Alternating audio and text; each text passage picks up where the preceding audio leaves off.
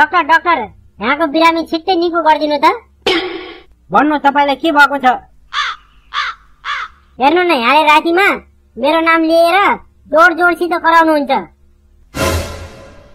तपाईँलाई केही समस्या भएको छ? उहाँलाई समस्या भएको छैन डाक्टर। मलाई भएको छ। भोलि आएको श्रीमती माइतबाट फर्किँदै हुनुहुन्छ।